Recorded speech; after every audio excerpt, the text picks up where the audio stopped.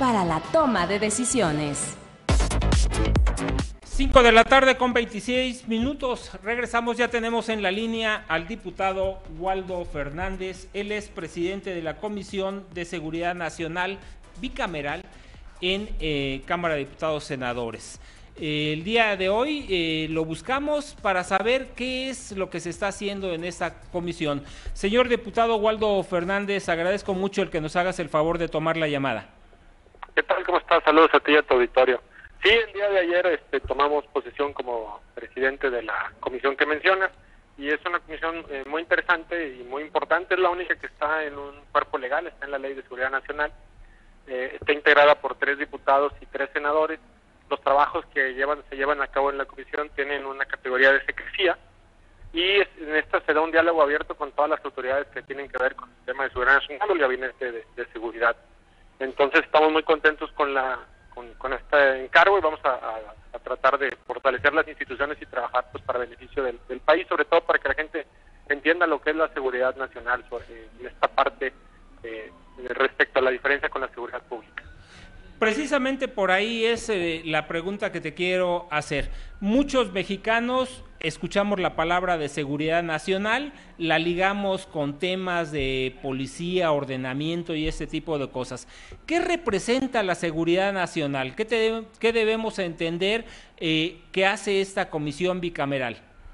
Mira, eh, la seguridad nacional es competente de revisar y analizar todas las, las posibles contingencias, riesgos, incluso este, amenazas que, que vayan contra la vida del Estado, soberanía del país, pero con este caso contra el Estado en sí, que pongan en riesgo el Estado.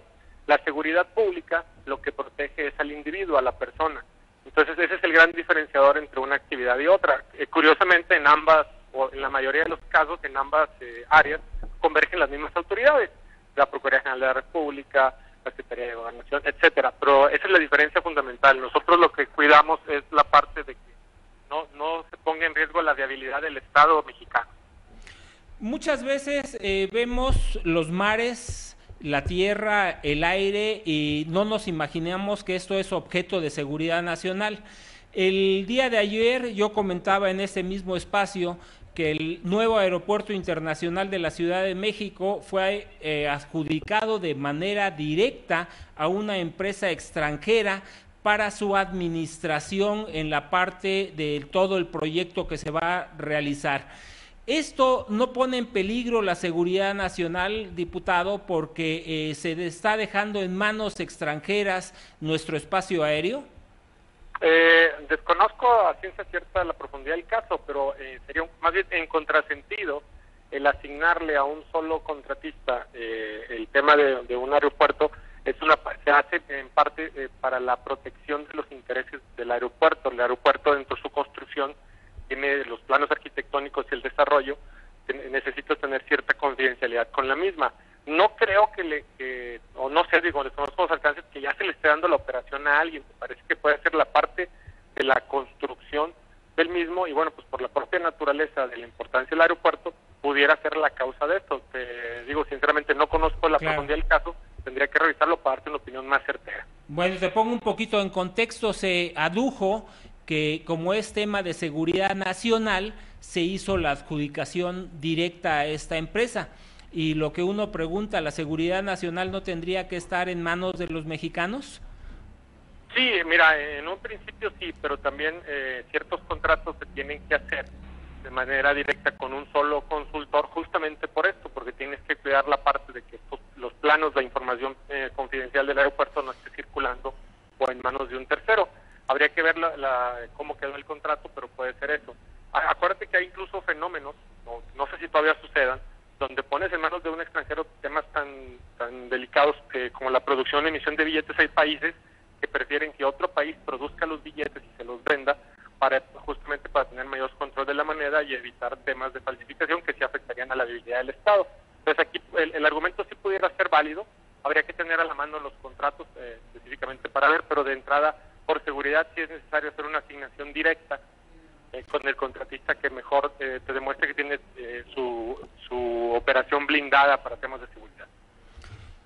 En el tema de la Comisión Nacional o la Comisión Bicameral de Seguridad Nacional, ¿cuáles serían los principales temas que están planteados en la agenda de la comisión y en la tuya personal?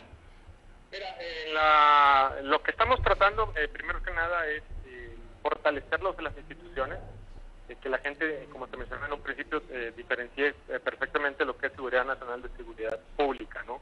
Nosotros tenemos, vemos las políticas de seguridad y las revisamos junto con el Ejecutivo y hacemos sugerencias para llevar esta agenda. Estas son prácticamente las, las, partes que estamos viendo ahorita. la agenda de riesgos como tal la construimos en conjunto con las autoridades del Ejecutivo, pero evidentemente pues no, no tenemos la posibilidad de decir cuáles son estos riesgos de manera particular. Bien, si me lo permites, diputado Waldo Fernández, le vamos a dar seguimiento al tema de seguridad nacional y te estaremos buscando en las próximas semanas para que nos hagas eh, el favor de dar información de cómo van avanzando, cuáles son los temas prioritarios y qué es lo que están haciendo ustedes y sobre todo tú como presidente de la comisión. Con todo gusto, estoy para servirte como siempre a ti a tu auditorio. Muchísimas gracias. Pues ahí tiene usted la diferencia de seguridad nacional con esto de eh, seguridad eh, pública, ¿no? Son dos temas que nos impactan directamente a todos los ciudadanos a nivel nacional, pero sobre todo el cuidado en seguridad nacional está establecido en blindar al Estado de que no venga un extranjero a meter mano y echar a perder lo que se está haciendo y que se esté haciendo bien. Vamos a un corte y regresamos. Sigue escuchando El punto crítico.